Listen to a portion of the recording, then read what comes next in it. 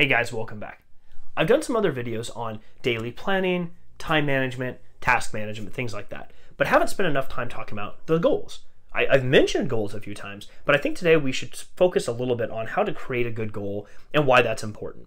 Now, a lot of us create goals that sometimes work. New Year's resolutions are a really good example. We get excited about something, we set a goal for ourselves. Unfortunately, what often happens is these are goals that we create on a whim or because we're excited, without putting really any thought to it, and they're not necessarily necessarily obtainable over the time period that we think. Let's say the next year, because a lot of reasons. Maybe you set yourself a goal that says, "I'm going to get my degree by the end of the year." Maybe that's realistic. Maybe it's not. If you focus too much on setting goals on a regular basis that are not necessarily realistic because you haven't thought them through enough, you're going to always be failing at your goals, or at worst, or I should say at least, you won't be keeping up with the goals. And that's just always going to make you feel negative. We don't want to do that. So let me give you some tips I think will be really helpful in creating goals that you can obtain and will just make you feel good on a regular basis. So let's start with your what. I know that's not usually what I say, but let's start with a what. What do you want to hit? I want to get my degree this year. That's fantastic. Why? Follow it up with your why. Why do you want to get your degree this calendar year? Is it that important to you that you get your, your, degree this year? That's a great discussion to have. I'd encourage also have this sort of discussion with another person, a spouse, a really good friend, a mentor, anybody anybody who you trust to give you positive feedback. It's really helpful to actually be able to talk out loud and say, "Hey so and so, so my what is this? I'm excited about this. Why I want it is this other reason.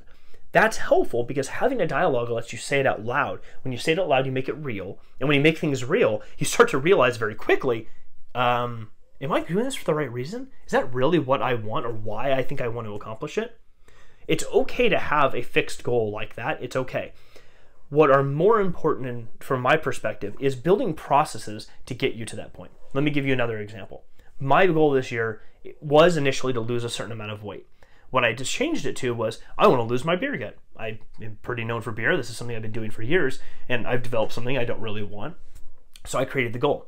My why, though, was I want to feel better about myself. I want to feel like I have more energy and stamina to chase my two and a half year old around because we all know that takes a lot of energy.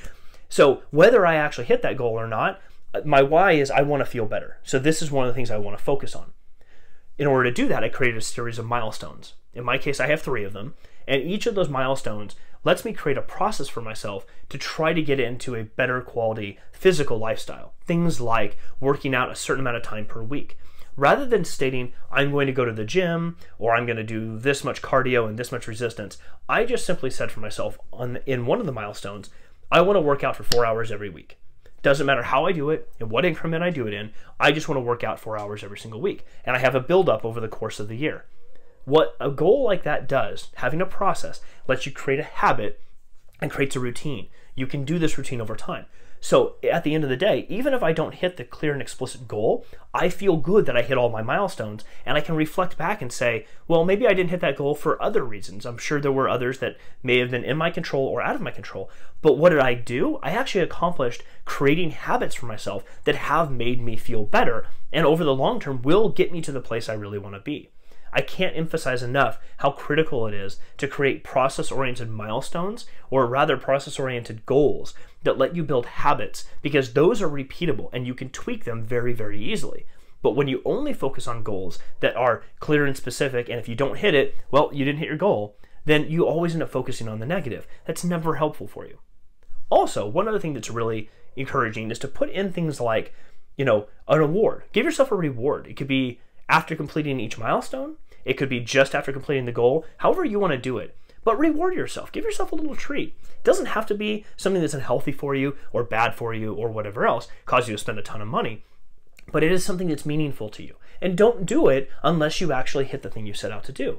These can be really helpful, like getting a massage, buying a new computer, you know, buying a sports car, I don't know, whatever happens to be exciting for you, setting these rewards for yourself also gives you something very positive to look forward to. You're going to give yourself a reward for completing and creating processes and building habits that you can repeat over time that will long term make you feel good.